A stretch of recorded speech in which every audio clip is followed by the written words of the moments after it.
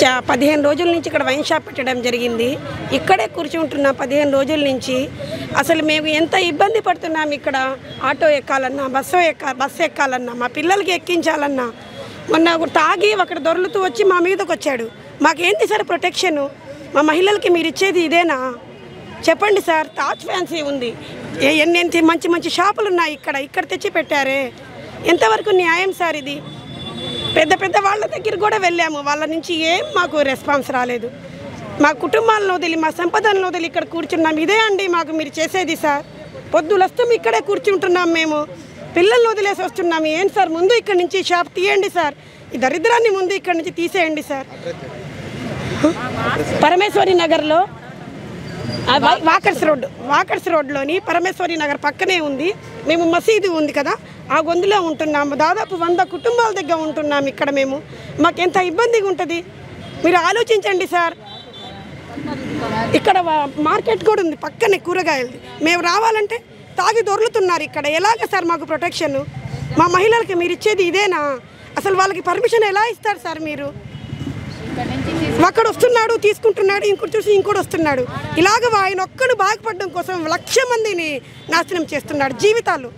చిన్న చిన్న అబ్బాయిలు పద్దెనిమిది పంతొమ్మిది సంవత్సరాల వాళ్ళు వస్తున్నారు మందు తీసుకోవడానికి. పదిహేను రోజుల నుంచి కూర్చొని చూస్తున్నాం మేము ఇక్కడ. ఏది ఏది కావాలన్నా ఇక్కడికి రావాలి సార్.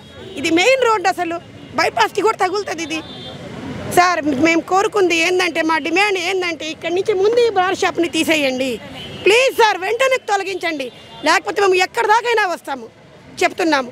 తీసే వరకు ఇక్కడ నుంచి ఇంచు కూడా కదిలేదే లేదు. ఈ బ్రాందీ షాప్ ఎదురుగా ఈదిలోనే ఉంటాం సార్ మేము. ఇది పెట్టి పదిహేను రోజులు అవుతుంది సార్. పద్నాలుగు రోజుల నుంచి మేము ఇక్కడ కూర్చొని ధర్నా చేస్తున్నాము.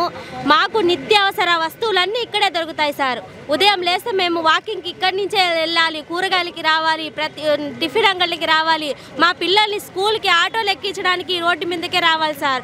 ఇటువంటి ప్రశాంతమైన వాతావరణం తీసుకొని వచ్చి ఈయన బ్రాందీ షాపు పెట్టాడు సార్. ఇతనికి పర్మిషన్ ఎలా ఇస్తారు సార్? మా ఏరియాలో ఇతనికి పర్మిషన్ ఎలా ఇస్తారు?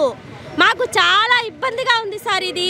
ఇది ఎంత ఇబ్బందిగా ఉందంటే మేము పద్ పద్నాలుగు రోజుల నుంచి మా ఇల్లు వాకిల్ని వదిలేసి మేము ఇక్కడ కూర్చొని ధర్నా చేస్తున్నాం సార్. ఒక్కరు కూడా మాకు వచ్చి ఒక్కరు కూడా మమ్మల్ని పట్టించుకునే వాళ్ళు ఎవ్వరు లేరు. ఒక్కరు కూడా మా సమస్య ఏందని ఒక్కరు కూడా రాలేదు సార్. ఓట్ల కోసము పదిసార్లు మా ఇల్లు చుట్టూ తిరుగుతారు సార్.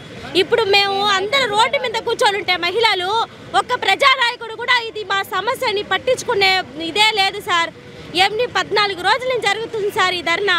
కనీసం ఒక్కరు కూడా వచ్చి మా మీ మీ సమస్య ఏందమ్మా అని అడిగిన పాపాన పోలేదు సార్. ఎవ్వరు పట్టించుకోలేదు సార్. మాకు మా ఎవరికి మేము కలెక్టర్ కాడి దగ్గర కూడా వెళ్ళి అది పేపర్ ఇచ్చాం ఇచ్చొచ్చాం సార్. కానీ ఆయన కూడా మాకు ఎటువంటి సమాధానం రాలేదు. ఆయన దగ్గర నుంచి రాలేదు. ప్రజా నాయకుల దగ్గర నుంచి రాలేదు.